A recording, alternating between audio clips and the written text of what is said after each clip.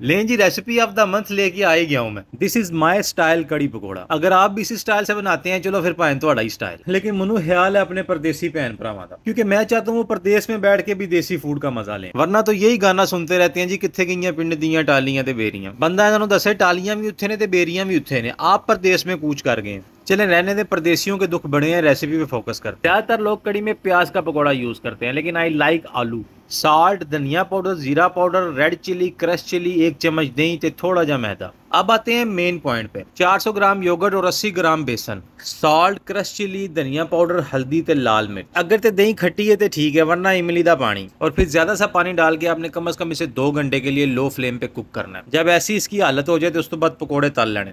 वैसे seventy percent जितने भी वेले थे ना पाकिस्तान में, वो सारे प्रदेश में आए हैं। थर्टी परसेंट होंगे को साढ़े ज़मीन थी पाकिस्तान में काटन का सूट और खिंच के पालिश की हुई जुती। तो जनाब किराने की दुकान पे अंडे और ब्रेड लेने जा रहे हैं वो भी दारे और ऐसे लोगों की सबसे फेवरेट ड्यूटी होती है कि घर की बेल बजा के बताना कि टैंकी का पानी लीक कर रहा है मोटर बंद कर। आप मुझे बताएँ आप थर्टी परसेंट मेहनतियों में आते हैं या सेवेंटी परसेंट वेलों में? प्याज आप पहले भी डाल सकते हैं लेकिन मैंने ब्राउन करके डाले तड़के में जीरा mustard seed chop, ginger garlic और whole dry red chilli. Last में थोड़ी सी तरी और उसके बाद हमारा कड़ी पकौड़ा रेडी आप बेशक इससे अच्छा कड़ी पकौड़ा बनाते हो, लेकिन आपने मुझे इसको ट्राई करके फीडबैक ज़रूर देना है। थोड़ा सा गर्म मसाला डालेंगे। अगर तो रोटी खानी है तो ठंडी तंदूर दी। मैं खाऊँगा इसके साथ चावल। और अगर लकड़ के तंदूर की मासी की हाथ की रोटी हो जाए तो क्या ही बात है। किस किस को इस तरह की रोटी अवेलेबल है और किस किस ने खाई हुई है? लीजिए अब मैं आपके मैदे के ऊपर नमक छिड़कने वाला हूँ, क्योंकि दिस इज़ चाट मसाला और फिर हो जाना है हाला लाला। और अगर आप गलती से हाली पेट इस वीडियो को देख रहे हैं ना तो मैं आता है दिल से आपसे माफ़ी चाहता हूँ, क्योंकि मैं आपके जज्बात समझ सकता हूँ। अगर इसको देखने के बाद आपको वाकई भूख लग गई है ना तो आप एक बार सिर्फ़ कमेंट्स में लिख दें।